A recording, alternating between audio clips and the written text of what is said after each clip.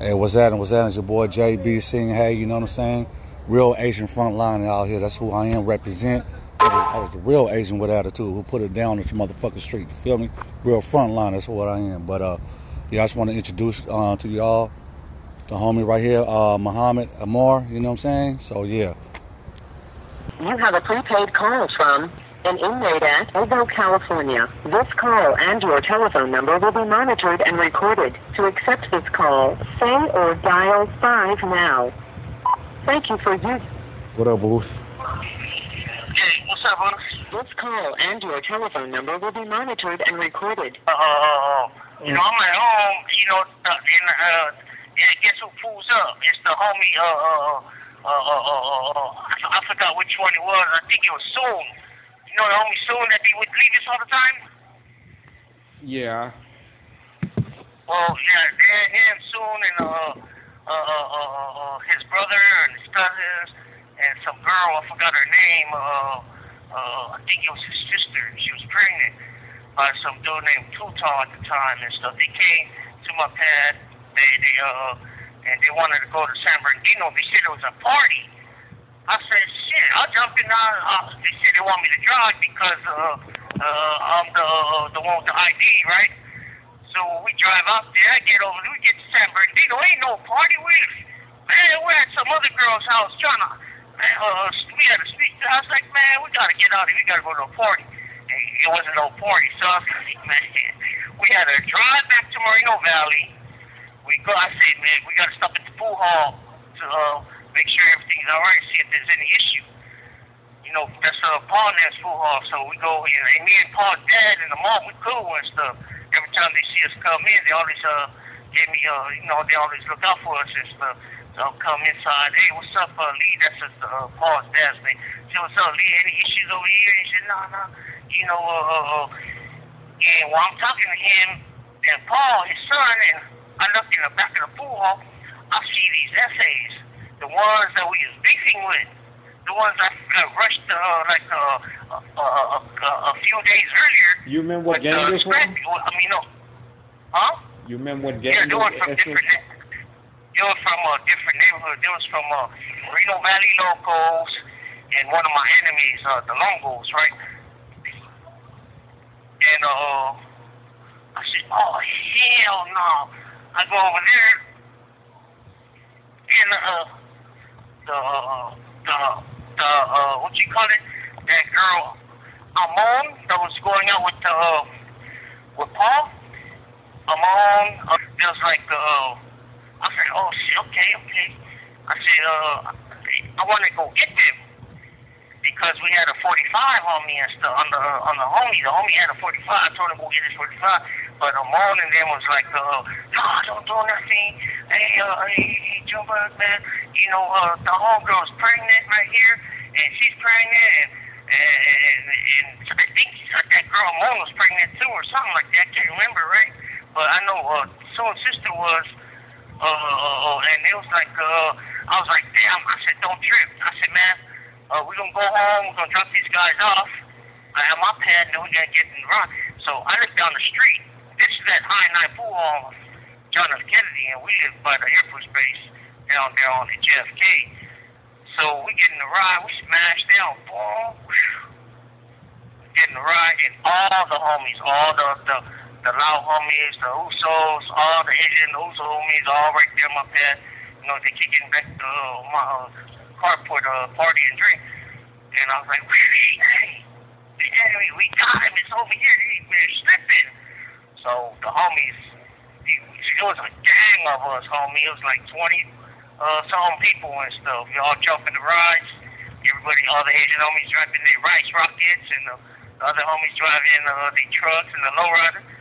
Uh, and then we, we smash out. I'm in the, uh, I think I was in the, uh, the front car. We smashed back out to the pool hall.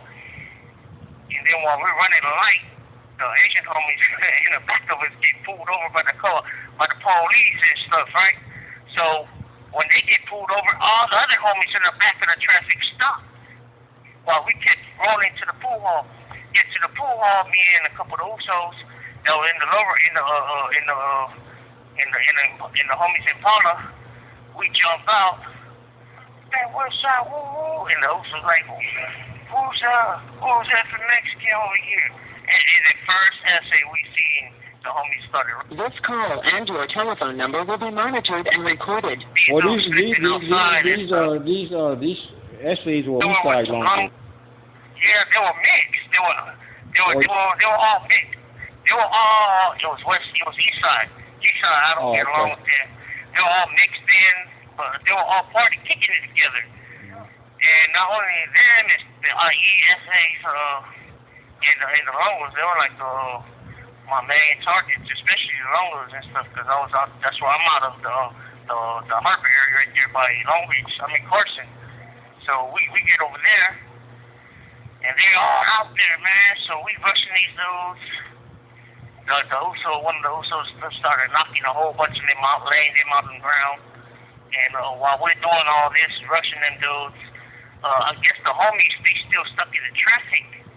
So while we're smashing on these dudes, the homies, uh, all the all, all the homies smashed out and uh, locked up in the traffic. We over here smashing these dudes and uh, uh, uh, uh, that that dude, one of dudes named uh, I still remember his name. They called him also from uh, I think he's called from he's from Mar- Mariners Point, Reno Valley, uh, something like that, right? That dude come and grab me. I sock him, man. Sock him. He his back. He flies right through the window, the back window. And uh, the, the the owner, uh, Paul's dad, Lee, he's like, oh, Junebug, you're gonna have to pay for that.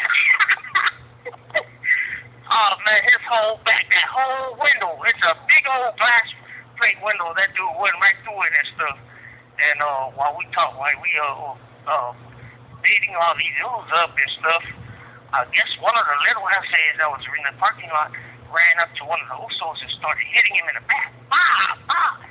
So while I'm fighting these other dudes, I see the Uso.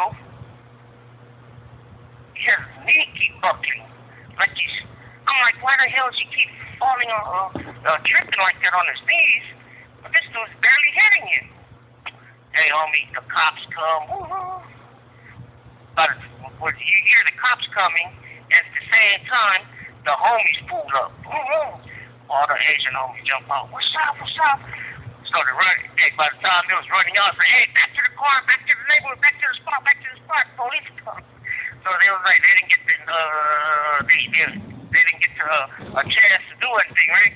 So we get to the, to the, uh, we get the spot. Police flood the area. So we get to the spot. While we're driving home, the Uso was like, damn, man, damn, man, damn, man. I said, man, I mean, the Uso's wearing a, a white shirt. And while the Uso's uh, hitting his steering wheel and, and pissed off because they got away, I'm looking at his back. I said, damn, why is your back all dirty? I didn't see you fall on your back. I'm grabbing his shirt, his back, and I'm, I'm, I'm brushing it off, and it's wet. So I said, what the, what the fuck? I looked at my hands. I said, man, it's, it's sticky. And said, what is that? I open, I, I grabbed his shirt. He goes, oh, no, he doesn't even know he's stabbed. I grabbed the shirt, I pulled it up.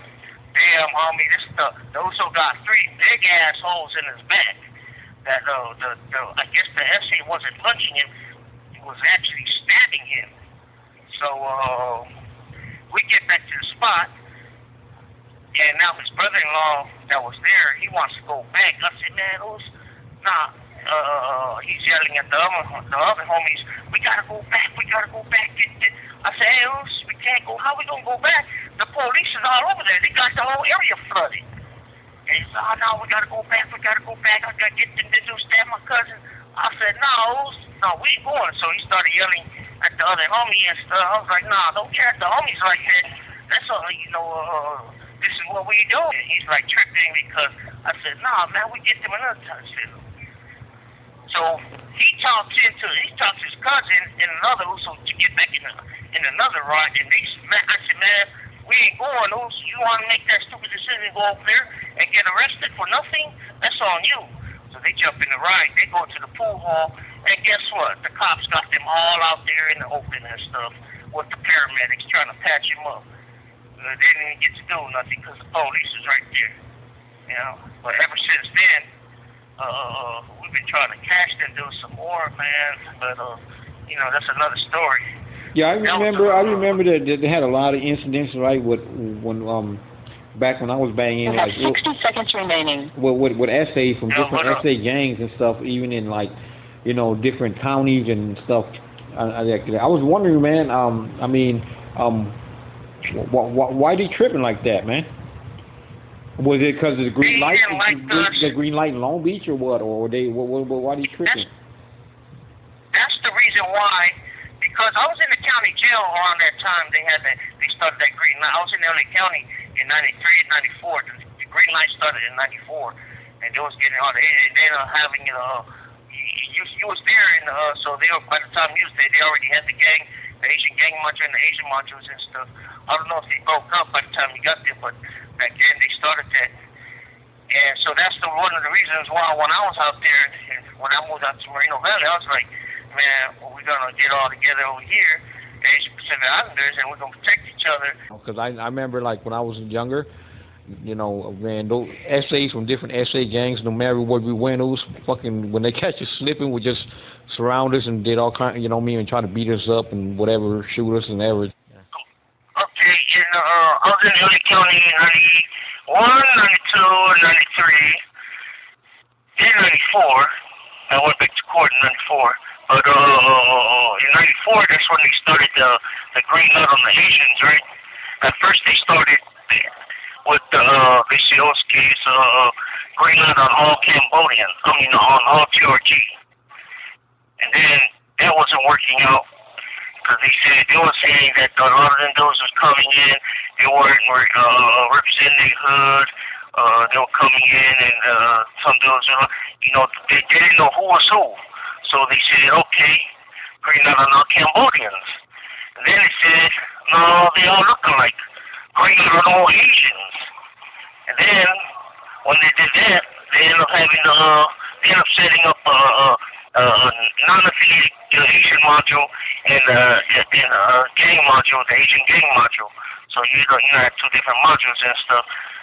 But uh, uh, that's what's going on and stuff. And you know, when I was out in Moreno Valley, uh, I moved out there in '92.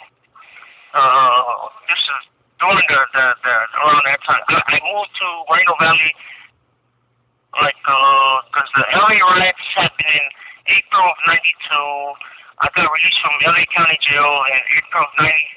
Uh, no, June '92. Like two months after the riot, and when I got to Moreno Valley, but I was still missing out. I was going back and forth uh, for parole violations at, back to LA County and all that other stuff.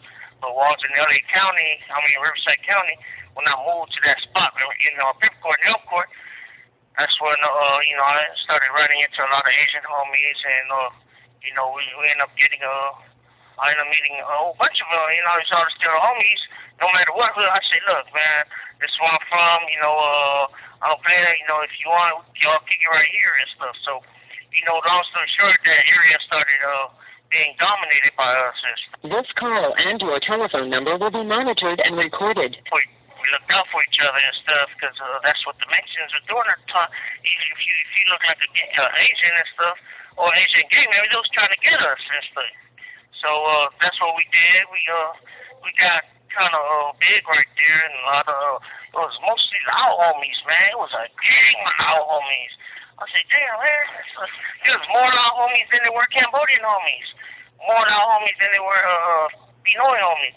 But uh, that so we had all them Asian homies right there, and all the Usos from different neighborhoods, and so we had that spot cool, man. And uh, every time there was an incident, we would get into the ride and we'd go to wherever the incident was, or you know, uh, we would go out partying and stuff. And uh, one time, um, there was one time that uh, uh, uh, uh, you know, one of the incidents that I almost got shot at uh, this is with the homies and stuff. Uh, when uh, uh, the homies right there was like, yeah, man, a there's this car club that just came out. These call themselves DVS.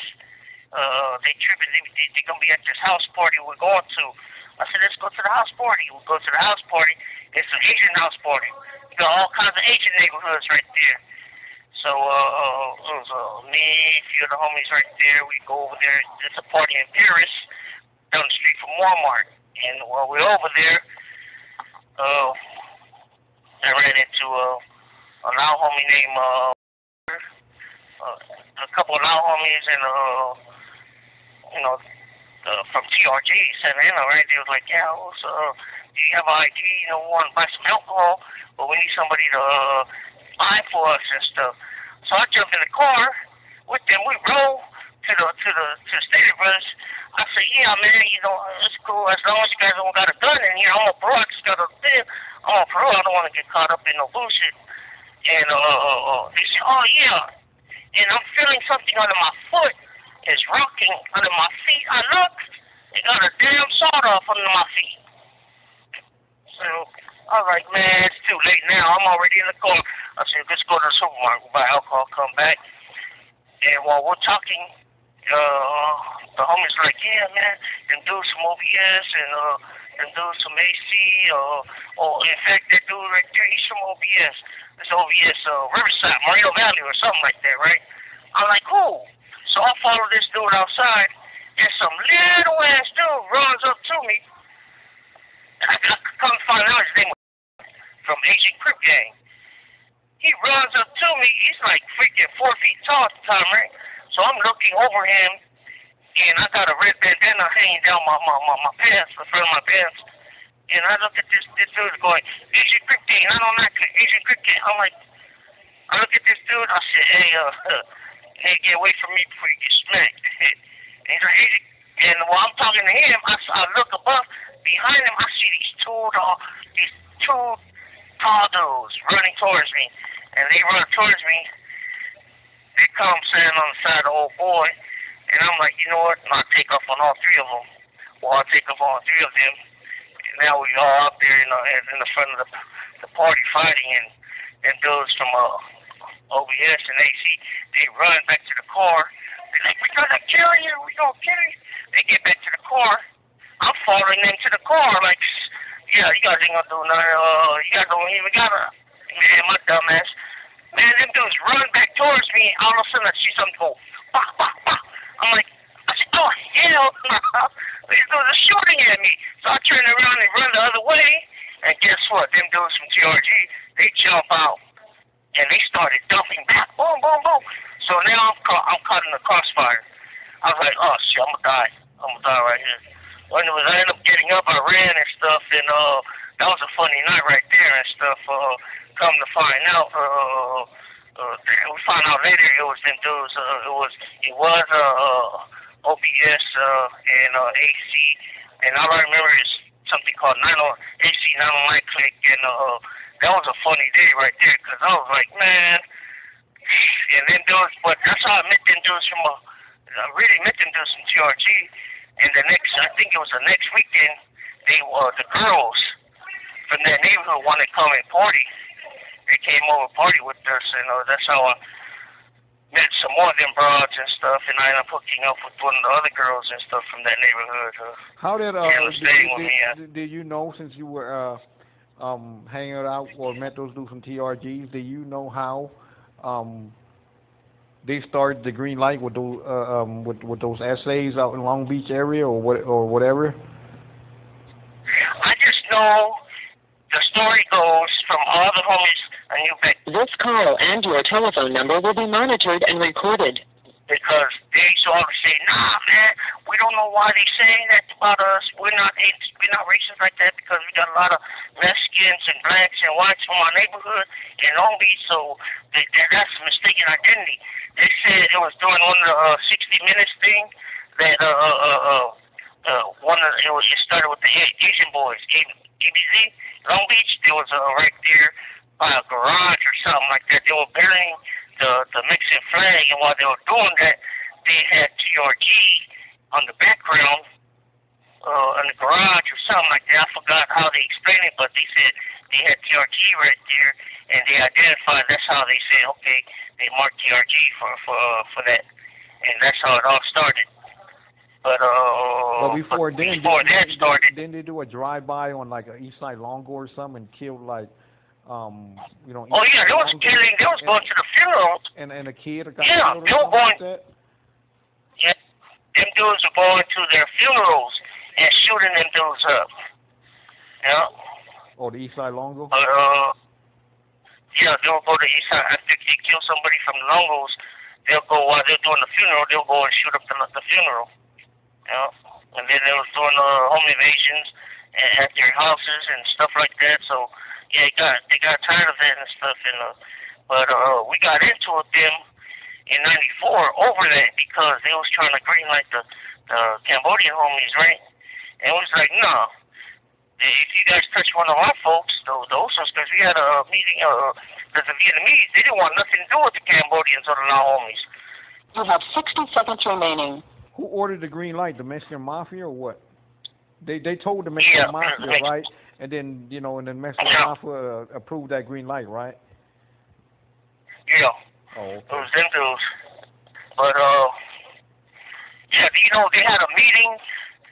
I think they had another meeting before the green light at uh, uh, in Long Beach, where they had all the uh, Asian gangs, mostly all the Asian Crip gangs in Long Beach, and uh, they uh, and all the inmates, they, they were all at the park, and they told them, look, man, uh, why don't we just get together, ally up, and you know, go against the blacks, and a lot of the Cambodian, uh, the Asian homies like, hell nah, man, it's crib, crib, hell nah, it ain't, it ain't, it ain't, it ain't happening. So uh, the enemy walked away, and then that night they started killing a lot of homies that night.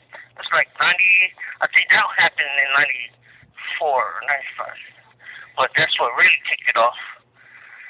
Yeah, because it was going back and forth, back and forth back then and stuff.